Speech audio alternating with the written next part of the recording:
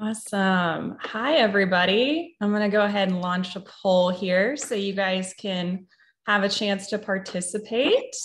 Welcome, welcome. Thank you guys for joining us for the second webinar in the Ditch the Textbook webinar series here. Um, as you guys who may have joined in September will probably know, this is a way for you guys to learn actionable insights and solutions into those daily challenges that you and your team are facing, knowing that there's quite a few, um, and specifically around the day to day business operations that textbooks really can't provide you, knowing that textbooks are still a very important part of learning and training. But maybe there's those little things like enhancing your operational processes that aren't necessarily um, in a textbook. So we're here to help talk through that here in this series. Um, and we look forward to having you guys on the next three after this um, every Wednesday, every third Wednesday of the month at noon central. So thank you guys for joining us, uh, sharing your your lunch with us. If you're central time, if you're not, thank you for adapting to that schedule. Um, and as we wait for a few more to join in here, I'll give you guys a little bit of background. But my name is Elizabeth Hansen. I'm marketing campaign manager here at Interplay Learning. And I'm your moderator and host today. So I'll be moderating the polls, the chats, anything that you guys want answered live. I can definitely do that. Otherwise, if we don't get to it live, we have a Q&A portion at the end, or we'll certainly follow up with you via email after. Um, but please take a second to answer the poll in the chat, and we'll be popping up a few, you know, sound off in the chats throughout the um, participation throughout the webinar today so that you guys all have a chance to fully participate because those of you that do in three out of five of them will get a $75 gift card of your choice. Um, so just as a reminder, today we are talking with Tim Smith on how to enhance your administrative operational processes that can cause you to attract skilled technicians and skilled workers, knowing that that's a, a big pain point now. Um, but before we get into that, just a second of housekeeping. Just a reminder for those of you that we're on the last one. And if you didn't make it to that one, thank you for joining us today. But you will be muted for the duration of the webinar. So if you have questions, send those in the question box or in the chat, and we'll make sure that those get answered live or in the Q&A portion. Um, as well as that, you'll receive a webinar replay link within 24 hours of this webinar. So be on the lookout in your email inbox for that tomorrow. Awesome. So now we're getting into the good things now that we've gotten through the, the housekeeping, if you will. Um, joining us today on the webinar is Tim Smith. Tim Smith was a student in the HVAC program at Hudson Valley Community College. Um, he really found that field interesting, challenging, and excelled at it. So after he worked in the field for a number of years, he actually returned to teach at his alma mater, and he served as a senior professor for 30 years before retiring in 2019. He also operates a successful HVAC training and consulting company and now helps shepherd technicians through actually Interplay Learning's VR and 3D HVAC learning model modules. So we are very lucky to have him here.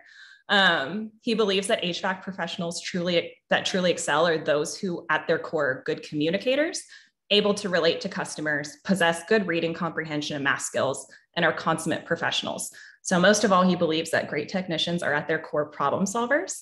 And I think that's a really great blurb. And I wanted to make sure I read it for you guys, just knowing that we're going to touch on a lot of those pieces throughout this conversation in how you can become a really good um, technician. And then as a business, how you can grab those really good technicians too. So, just a little preview on what you guys might get into. And with that being said, in today's discussion, we're going to touch on those major pain points in hiring and attracting skilled workers, ways training that lowers that hurdle towards competency for students, and then how Tim has really seen businesses attract skilled workers that have come out of his program. He's going to speak to using technology in his program um, and what has worked and what hasn't when it comes to grabbing those really uh, skilled technicians that have come out of his training program. So we are excited to have him. And Tim, thank you so much for spending the lunch hour with us, knowing that thank it's a little you. bit later in the day for you. Thank you. It's fun. Cool. So we will hop right in.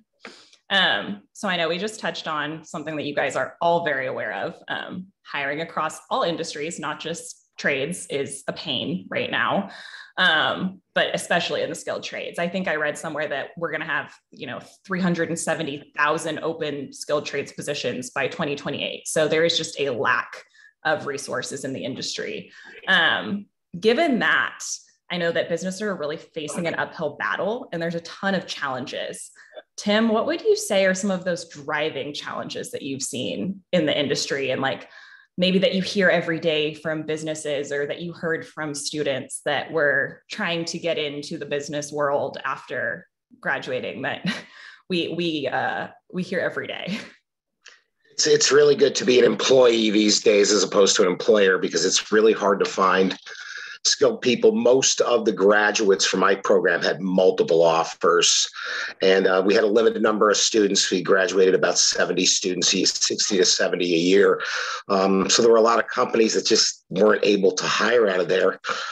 And there were things they needed to do to improve that. And we and they did they did in fact do that over, over time but there, it's a big challenge now. Um, like they say it's it's tough to find enough people.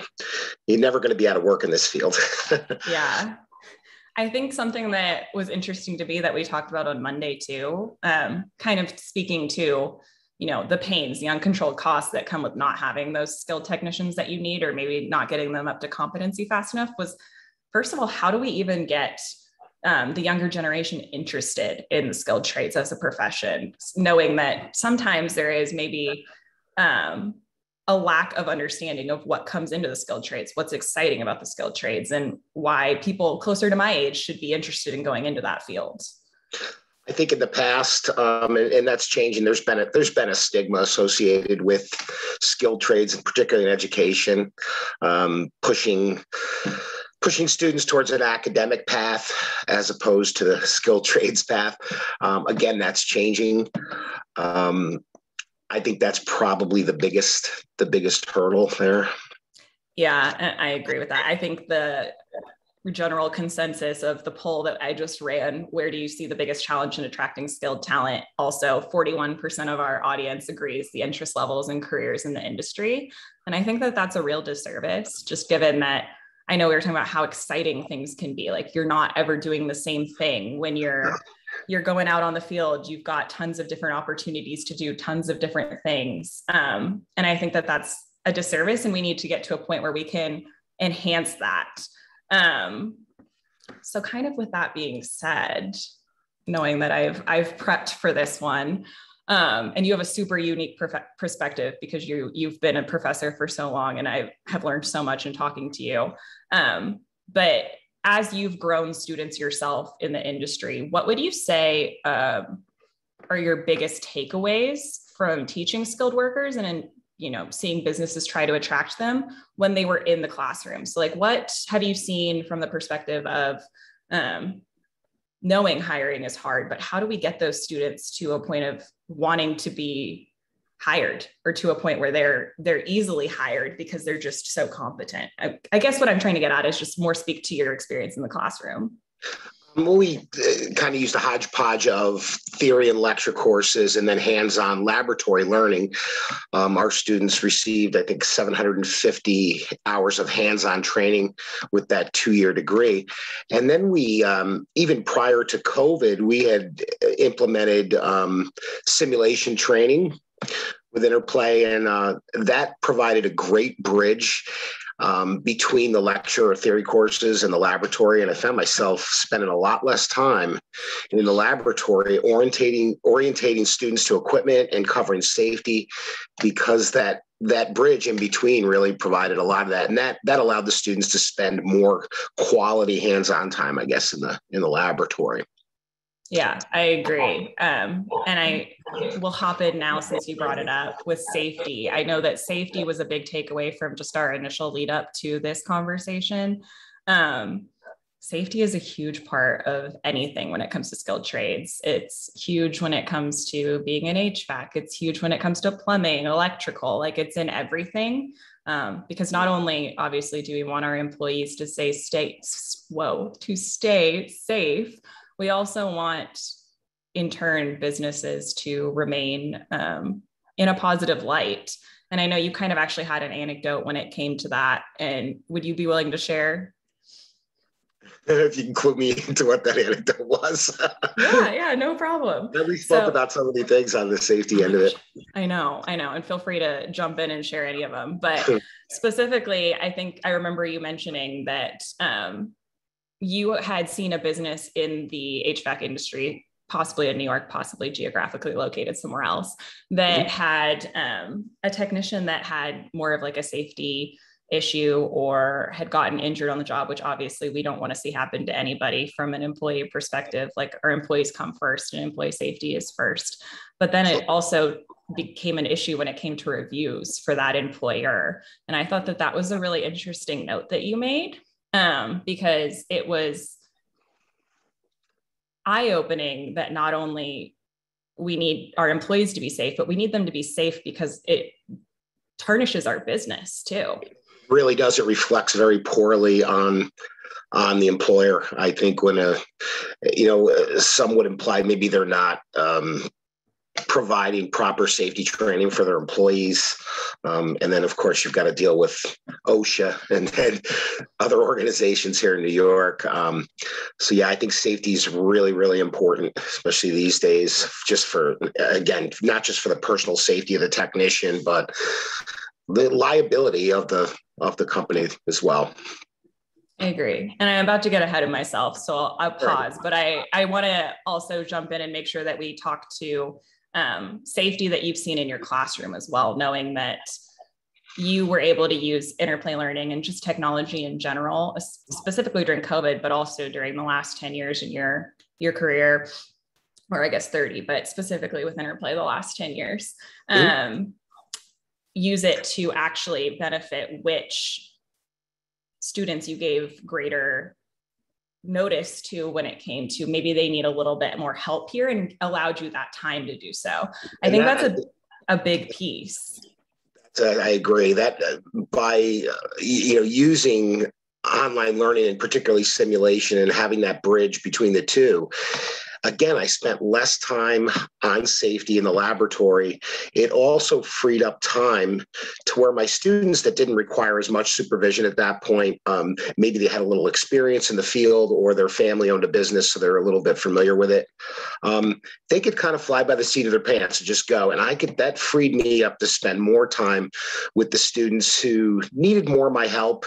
And, you know, particularly in the safety area, kind of keep an eye. There's a multitude of hazards in HVAC um, you know, high voltage electricity, you know, cryogenic fluids, combustible fuels, sharp edges, um, head bangers, as we call them, um, you know, overhead pipes, that kind of thing. Um, so yeah, that that really allowed me to not just minimize the safety training in the laboratory because you know the interplay uh, sims actually implemented a lot of that in the sims but again free up my time for the students who really really needed the help and that, that allowed me to raise the bar i feel in the in the laboratory it allowed me to bring you know instead of bringing everybody to i guess you say the lowest common denominator as they actually bring bring everybody up yeah, I agree. It was actually not a conversation that we had. It was a conversation I had internally with someone else yesterday, but I think it kind of fits into what we're talking about here. Um, where I think a really big benefit of implementing technology into your classroom not saying like that's the only piece you need. You obviously need hands-on training. You need to mm-hmm. you dive into the safety code and all of that. But being able to implement technology in some level into trade schools and into training um, allows you as an instructor to really do what you are passionate about which is instruct and like be a mentor versus having to be concerned about what's my lesson plan going to be tomorrow. And I thought that that was an interesting note. And feel free to jump in and say yes or no. That's actually how I felt. I, I agree. I mean, I embrace the technology. I, I was a that was a professor for 30 years and I saw the transformation in education from using overhead transparencies to what we have now. We have document cameras and, you know, obviously using web-based programs and things. And I, I embrace that technology, not all. Um, seasoned, I'll say, professors embraced the technology, but I but I did. I felt like it made my job a lot a lot easier, and it benefited my students, which was the more important thing. Yeah. And I actually think that that that speaks to we have a couple notes I want to bring up in the chat, but before we get to that, um, I think that really speaks to what you were notating earlier and why I want to bring back and hone in on your bio a little bit on why technicians are all great problem solvers. Um, I loved on Monday when you brought up we need to teach technicians how to learn to learn um, which is a little bit repetitive. But if you don't know how to learn, you can't be successful in the real world because growing up, you're just set, told to go do this, to go digest this, but never really taught how to take that one step further and problem solve. And that's like the real world. And specifically in the HVAC world where things are changing every day, it's super imperative. Yeah, the the the technology that's coming out and the equipment is just evolving so fast. I always say that, you know, the last three to five years, the industry's changed more than it did in the previous 25 years. And that, that you could say that at any point, I think. Um, that's that's a uh, a big deal to um,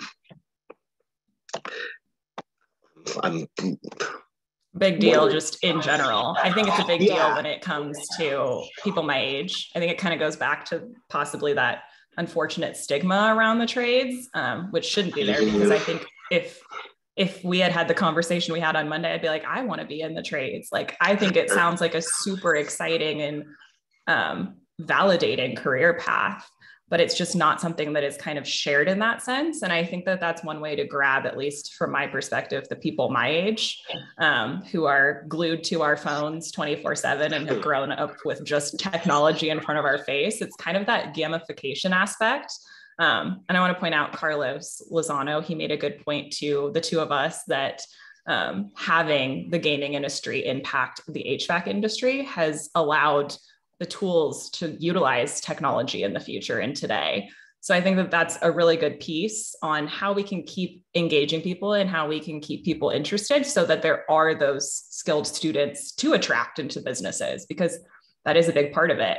We're the industry is suffering in trying to attract skilled workers because there's just not enough of us, enough of the industry going back to that learn to learn statement mm-hmm. that's extremely important.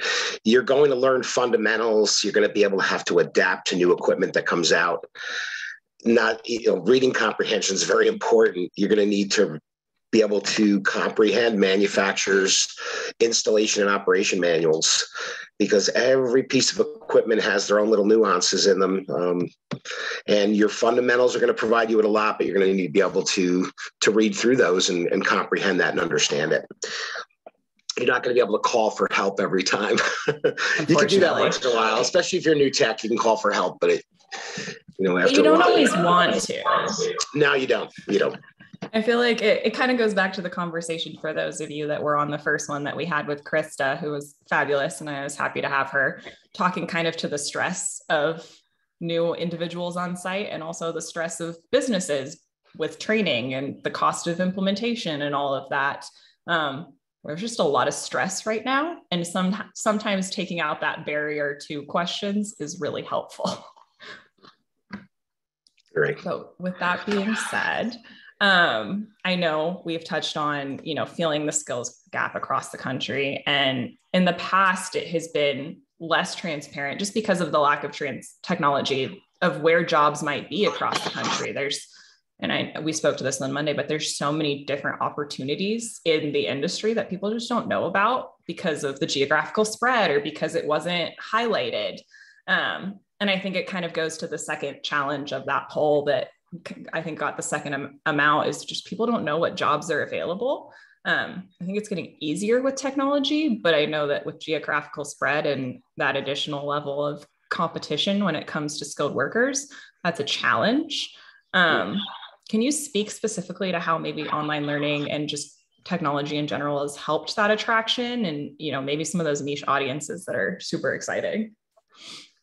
Well, I think in the early days, um, the online one of the online products I used from Interplay actually had companies recruiting right off. We had a leaderboard on there. So as the these were simulations, HVAC simulations. I think there were seven in total at the time. Um, that was a number of years ago now. Um, I'm going to guess it was six or seven years ago, anyways. And um, we had larger, particularly larger companies um, such as Carrier and Trane that actually were the student could set their profile up as public or private. So if they set it up as public, these companies could then go in and look at these students' performance on that online um, program and see how they were doing. And some of my students were employed based on that by these companies. So it's pretty interesting there. That's really cool. Yeah. I don't, I don't think we actually talked about on Monday. So I'm happy to. Yeah, that was a. I, I'm not sure that's still available, but it was in the early stages of the simulation, the online simulation with Interplay. Um, and, uh, you know, some of the students didn't want, you know, they set their profiles as private. They didn't want to, you know, be bothered with that.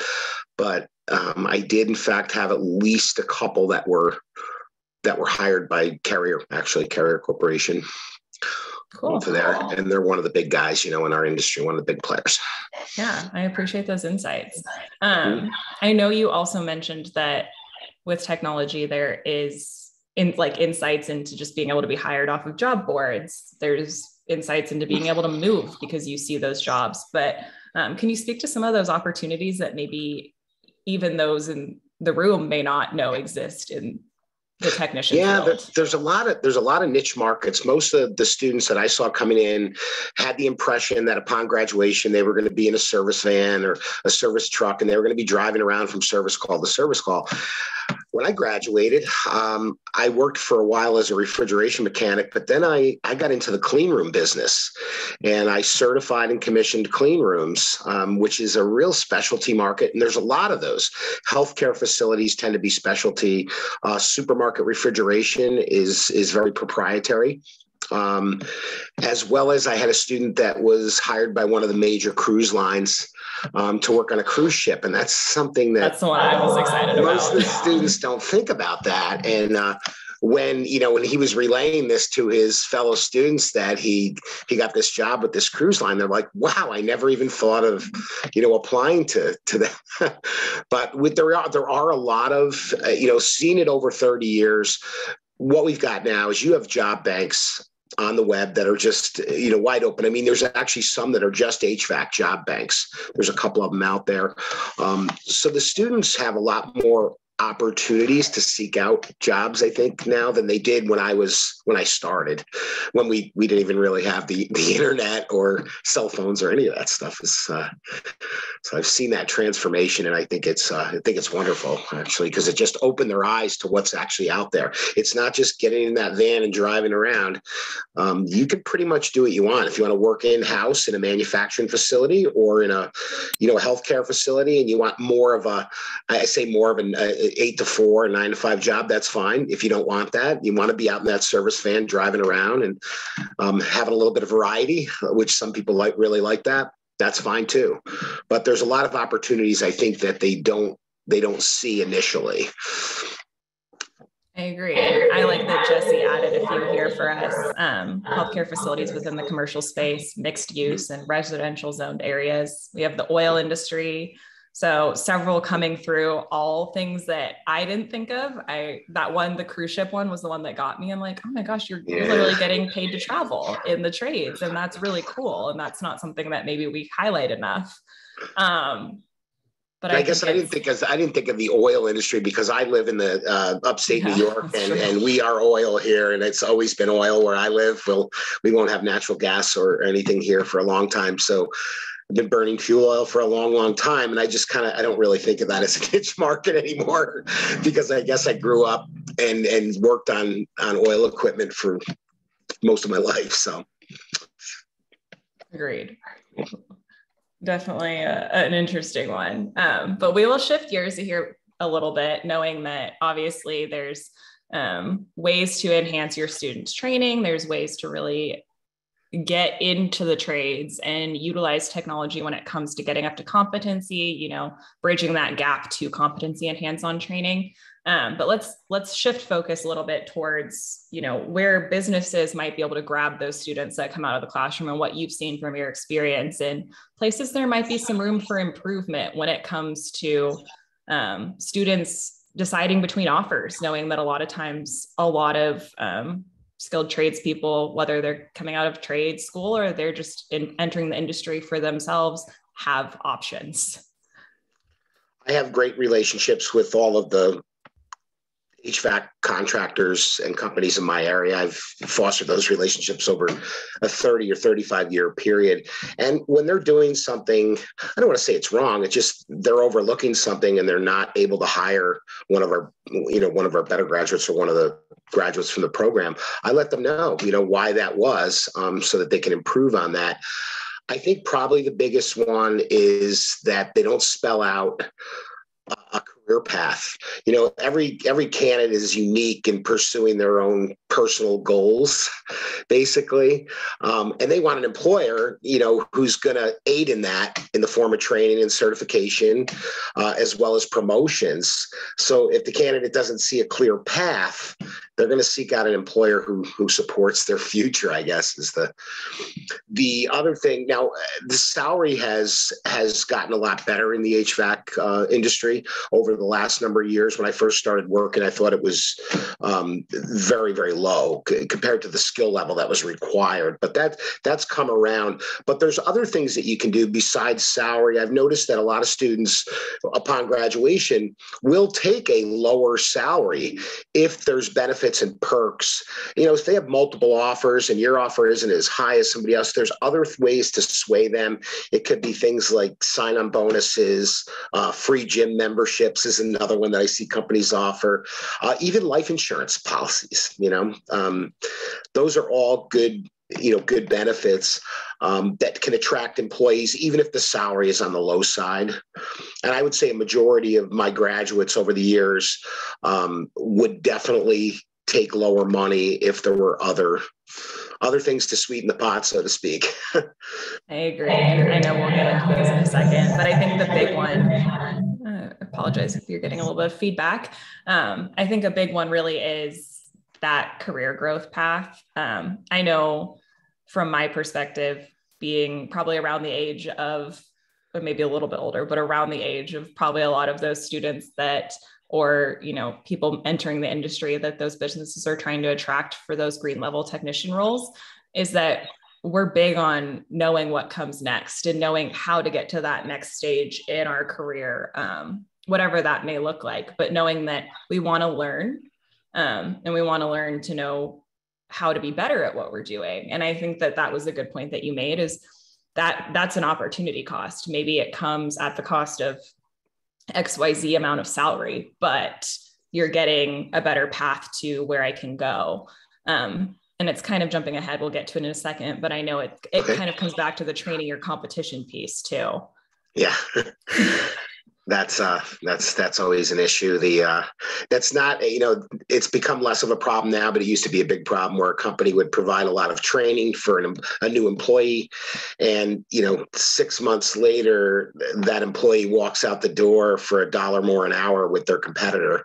Um, and i had companies complain to me that they felt like they were training their competition. Um, there are basically training contracts now with most of the companies. If the training is extensive and it's expensive, um, you know, if you leave the position prior to a given period of time, um, you have to reimburse them for the training in some cases. Makes and I know even the even the you know the pipe fitters um, we have local seven pipe fitters here. Same thing. If you withdraw during your apprenticeship, you can be billed for the for the training. And so that that that stopped some of that from happening.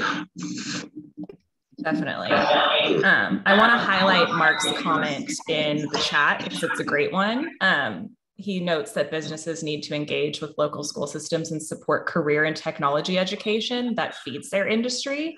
And I think that is a really, really good point and kind of mm-hmm. hones into what we're talking about today um, in your students. You're that central trades school, if you will, um, that all of those businesses were looking to attract. So you need to be honed in as a business owner or as um, a large scale industry business, be honed in on where where those people and those um, tradespeople are that you want to attract. Um, I don't think you can wait for tradespeople to come to you anymore. I think you have to go to where they are. Yeah, I agree, and you know, I think I think some of it, a majority of my students were actually working uh, internships and part time for a company in their second year, and when they graduated, they typically are hired full time by that company. So the company kind of got a taste for what their abilities were and, and what they could do, and their attitudes, as well as their communication skills, which is obviously important. And so the, the the companies got to try out the student per se, and the student got to try out that per- particular job title, whether yeah. it be a service technician or installer or whatever it happened to be. So I think that's beneficial. And I think that um, a lot of companies can also look to serve on advisory boards for these programs. Um, we relied heavily on our advisory board members. Uh, there is comprised of local um, big players in the HVAC industry um, at all levels, and they they didn't you know dictate what we were teaching, but they gave us an insight to what we really should be, what the outcome should be for our students, for them to be successful with their company. So we we relied on that and, and adopted a lot of those things for them, particularly the safety end of it. That was going back to that. That's a that's a big one now here. Yeah. And I think that Mark's next comment on how companies need to con- continue to invest in their employees, um, complete their apprenticeships, increase their skilled value to the company. I agree. When good employees leave, it's usually because a company has failed to provide opportunity. I think that that kind of ties into where we wanted to speak with communication barriers and that lack of training. So I know that you've spoken with me about how you've seen in the industry, maybe there's a, a, more experienced technician that has to speak to a, a greener technician and train them, but maybe they don't love training. Maybe they just aren't as amazing a communicator, whatever that may be. Like sometimes that path is lost to learning. Um, could you speak to that a little bit for us? Yeah, I see that a lot where, um, and I think the companies just need to do a better job of, of having the experienced technician that's training these newer hires. Um, be the right person. Just because you're a great HVAC technician does not necessarily mean you're a communicator. And I, I listen to students all the time on internships some of the techs they worked with they absolutely loved they were great they taught them so many so many things and then others um, they felt like they they were resented by the by the technician and uh, you know, gave them a hard time, made them do go for work, as we call it, go for this, go for that. You know, um, yeah. I saw that a lot. Um, I think that's up to the companies to really find the best of the best that they have for technicians when it comes to communication not just throw a, a, a, new hire indiscriminately with a tech with an experienced tech but utilize the technicians that you know that can communicate more to train these people i think we also talked about how there needs to be a little bit of incentive that comes with it too um, in any sales organization so that this can relate to anyone that may not be hands-on in the trades too and just more of a high level individual on the the call.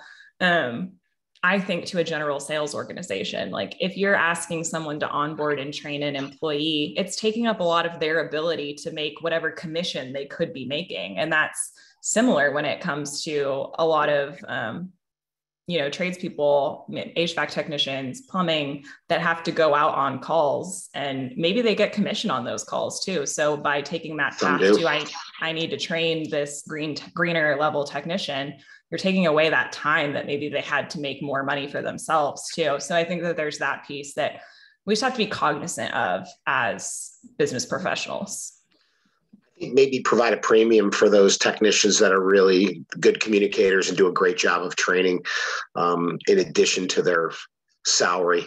Maybe provide them some kind of perk for doing that. It's probably a good idea. It would encourage them to you know to impart what they know to these these other these newer technicians um, and not necessarily I, see some that have a real problem with the younger technicians coming out. They just feel like it's a pain in the neck and it's making their day harder. But so maybe they need to be compensated, and that would uh, and change it their... back to finding that one that's passionate for learning and training too. Right, right, and I, that's what I don't think the companies do. I don't think they actually look at. They say, okay, we've got ten really great technicians here and and then they'll throw the new hires in with just any one of them without really evaluating what they're you know how well they communicate and how well they train in the field. Agreed. With that being said too um, i know we've talked a few of the paths forward here as we've gone through some of the ways we can probably improve as businesses. Um, but what would you say are some of maybe perks that we could include past career growth opportunities, you know, pay structures. I know that we talked a lot about flex time and how that that your career balance with life is a big piece of what interests my generation of employees. Yeah, I think in addition to the ones I mentioned earlier, you know, signing bonuses, um, life insurance premiums, uh, these are some of the ones that I've seen over the last, you know, five, six years. Um, but flexible scheduling and, and and i understand that that is very difficult in skilled trades flexible scheduling can be can be tough but it's not insurmountable. It can be done. And uh, there's actually a recent survey that found that 44% of workers would take a pay cut in exchange for a more flexible work schedule, which is pretty amazing when you think about that. Um, you know, balancing family, most of your younger technicians have families or, you know, or soon have families. And if they can take a, you know some time off during the week to attend one of their child's school functions or some personal business and maybe make that time up either either later in the day or possibly on the weekend it doesn't have to be uh, real crazy. I mean it can be done. It, it can be done. It, again it's more challenging in skilled trades than it, than it is in other um, fields but but I think flexible scheduling, I think you're going to start to see more and more of that actually, because it's very attractive, particularly to younger technicians. I agree with that sentiment a lot. Um, I think there was a piece that I had notated on like what I was looking for when I make a career decision. And one of the reasons I'm really glad I landed at Interplay, um, given that, you know, it truly is your work fits into your life, not the opposite. And right. like you said, that's not necessarily always possible in the trades, but if you can lead paths to making it possible, it makes it easier to grab um, individuals of my generation, knowing that there's different things and different priorities that we're competing with, and everyone has different competing priorities. So it'd be great for your, you know, um, more experienced technicians too. Um, but it just gives you that leg up on some of the other companies around you, probably. Yeah, it's uh, you know, it's something that they're going to have to evolve because the job market is in skilled trades right now, the uh, they hold the, the the hires or the applicants kind of hold all the cards because most have multiple opportunities for jobs. Um, so you need you need to sweeten the pot there to to get them to come on board. And it's not just you know medical benefits and salary and, and those things, but there's other perks that could be that could be attractive to them. Definitely. And I want to also pause for a live question here that a little bit relates to paths forward. I think from a career growth standpoint, Tim mentioned in the chat, how much time do you typically allow for training during a typical week for newer tradespeople? Learning is lifelong. What does that look like long term? And I know that that may be, you know, slightly out of your wheelhouse, knowing that you were more in the this trade school perspective, but any perspective you can give there would probably be insightful. I, I, could. I think that you know, on the it depends on the level of equipment that they're working on and what they're actually doing. I felt like most of my graduates, after two years um, at the college graduating, they could go out on their own on residential equipment. They could handle a residential furnace, air conditioner, heat pump, and, and even some smaller light commercial refrigeration equipment. Um, when they got into the commercial and industrial equipment, most of these larger companies put them with a technician for six months to a year every day, 40 hours a week plus. Um, they're with us, experienced tech every day. Um, so it could be extensive. I mean, the amount of time that they're spending could be a lot. It really depends on the level of equipment. It, it definitely does. And also, I think it it depends on what worker you probably were able to bring on too, depending on if you have to train them from the ground up versus if they're probably coming out of more of a trade school um, type situation where maybe they already have that leg to competency a little bit more, knowing that they've had some hands on in the classroom. I think you're seeing a lot of that because there simply isn't enough graduates of um, what we call vo-tech centers and trade schools and community colleges in my area. Um, so employers are kind of forced to hire some with no no experience, no background, no formal training at all, and that's a challenge. Um, I'm not saying that can't be done. It's just a lot more challenging when you have somebody who at least has some fundamentals under their belt. And this might be uh, throwing a question at you that we haven't talked about at all. So I'm interested to hear your answer. But um, in saying that, if there was a business that maybe because we don't have enough students in the classroom that we can grab for you know the open positions we have so we have to hire someone and hire them for their attitude to train for aptitude what does what would you say that looks like from your perspective how could we get them to competency using different channels knowing that there's many that we can get there with i think you know in addition to having a good technician have partnering them with a good technician every day. Um, and they're going to phase out of that. In other words, they're not going to be with that technician for six months or a year and then just they're out on their own. It doesn't work like that. They'll start putting them out on their own and seeing how they perform um, at that point. But online education, manufacturers literature, all those things are really, really important. I think the interplay product really allows companies to kind of keep track of a student's progress or a new hire's progress. I have a lot of uh, smaller companies in my area that are using using this product. They've been using it for a long time, and um, they're really really happy with it. And they can watch the progression of their technicians. And most of them have told me that it, it's amazing how fast. Uh, they've developed competency in the field when they've gone through the program.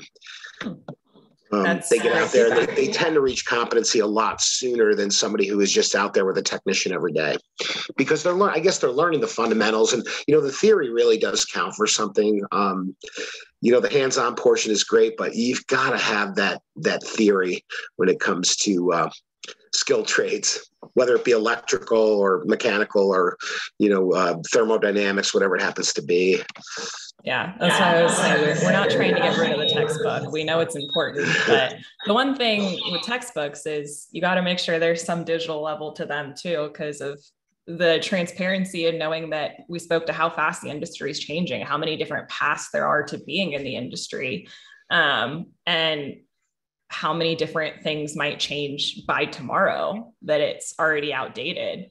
Um, so that's probably a, a, challenge point that I'm sure a lot of you guys are facing in the industry as well. So feel free to to notate that if if that is a challenge for you.